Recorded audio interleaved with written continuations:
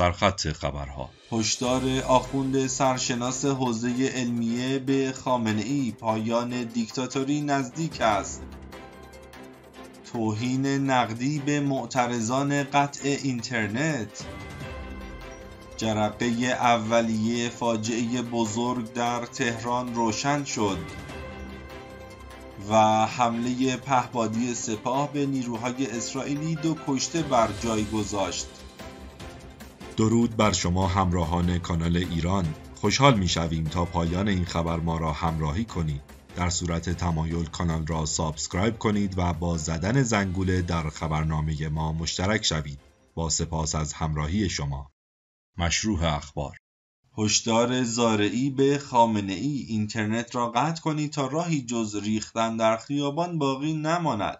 محمد رضا زائری یکی از کارگزاران رسانه‌ای رژیم با ترس از تبعات اجرایی طرح سرکوبگرانه سیانت از فضای مجازی گفت اینترنت را قطع کنید تا راهی جز ریختن در خیابان باقی نماند. مردم الان دارن همین اینترنت ضعیف را با فیلتر شکن و مصیبت و درد سر تحمل می‌کنند شما میایید همین را هم قطع می‌کنید و راهی جز ریختن در خیابان و آتش زدن سطل زباله باقی نمی‌گذارید.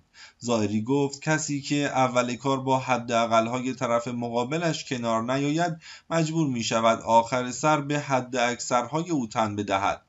عقل می‌گوید که تا دیر نشده با طرف مقابل کنار بیایید و نگذارید کار به جایی بکشد که از موضع ضعف و انفعال تسلیم حد اکثرهایی بشوید که اصلا فکرش را هم نمی کنید.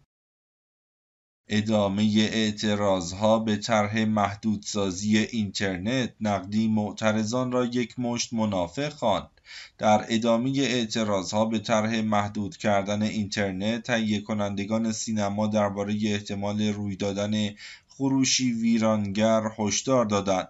همزمان معاون سپاه پاسداران معترضان به طرح را یک مشت منافق کامنت گذار خواند و از نمایندگان مجلس خواست که از اعتراضات نترسند. محمد رضا نقدی معاون هماهنگ کننده سپاه پاسداران در یادداشتی که روز جمعه هشتم مرداد در رسانه های ایران منتشر کرد وضعیت فعلی فضای مجازی در ایران را ننگین دانست و معترضان به طرح مجلس را یک مشت منافق کامنت گذار ساکن ریاض، آلبانی، دوبی و لس آنجلس خواند. نقدی از نمایندگان خواست که از این اعتراضات نترسند و به حاکمیت بیگانگان بر مدیریت فضای مجازی ایران پایان دهند. او از اینکه نمایندگان مجلس چهارده ماه پس از سخنان خامنه ای درباره اولویت دار بودن ساماندهی فضای مجازی برای مجلس تازه در این باره اقدام کردند و با ترس و لرز راجع به استقلال ایران در فضای مجازی حرف می‌زنند انتقاد کرد. این سخنان در حالی بیان شده که اعتراضهای گسترده به این طرح همچنان ادامه دارد.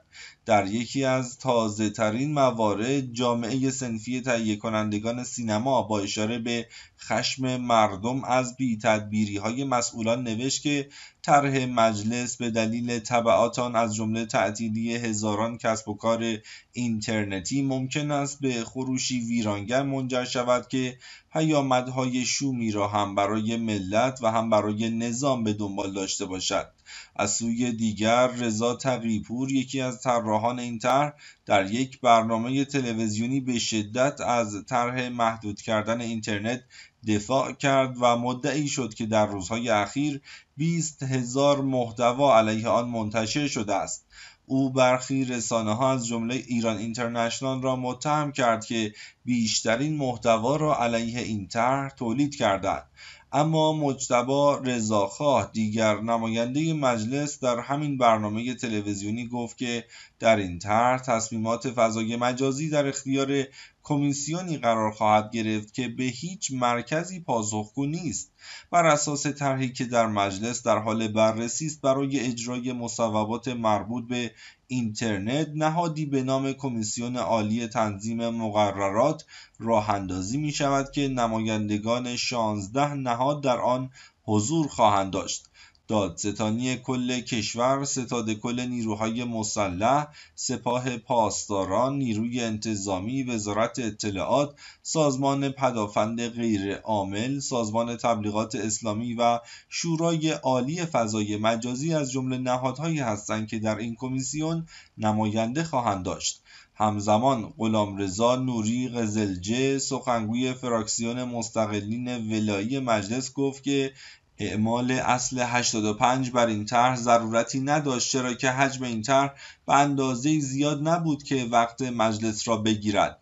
او اضافه کرد تنها دلیل اصل 85 شدن طرح سیانت از حقوق کاربران در فضای مجازی این بود که عدهای خاص و قلیلی بخواهند نظرات خود را به کرسی بنشانند.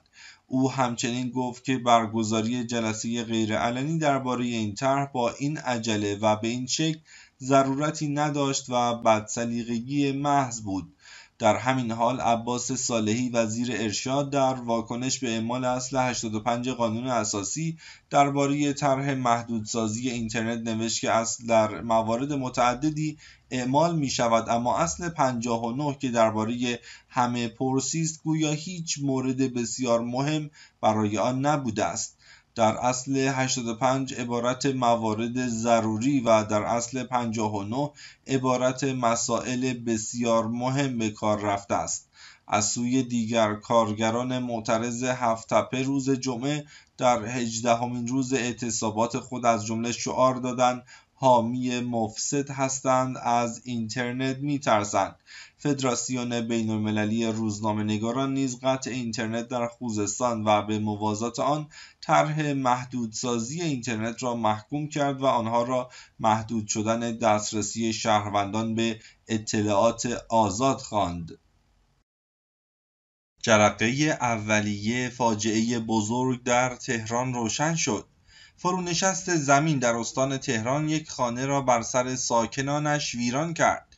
شاهین فتحی مدیرعامل جمعیت هلال احمر استان تهران گفت زن و شوهری که بر اثر فرونشست منزل مسکونی در فیروزکوه زیر آوار رفته بودند توسط دستگاه های امدادی نجات یافتند.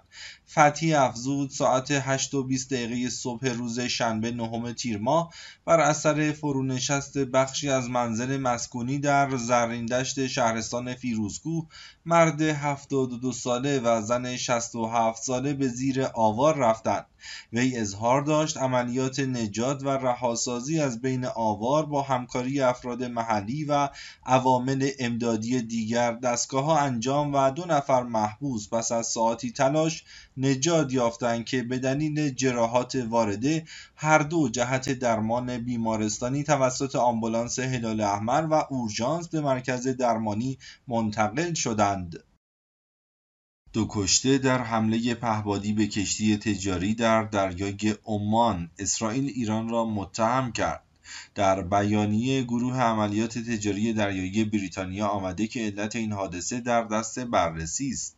گروه عملیات تجاری دریایی بریتانیا اعلام کرد هایی را دریافت کرده که یک کشتی تجاری در سواحل عمان در دریای عمان مورد حمله قرار گرفته است. ارتش بریتانیا می‌گوید کشتی تجاری مورد هدف قرار گرفته متعلق به اسرائیل است و در نزدیکی سواحل عمان در دریای عرب مورد حمله قرار گرفت. وبسایت امنیت دریایی دریاند اعلام کرد که حمله به این کشتی با پهباد انتحاری صورت گرفت و در پی آن دو نفر از خدمه کشتی یک بریتانیایی و یک رومانیایی کشته شدند. منابع آگاه به العربی گفتند نهادهای اطلاعاتی اسرائیل سپاه پاسداران ایران را به حمله به کشتی تجاری اسرائیلی در دریای عمان متهم می کنند.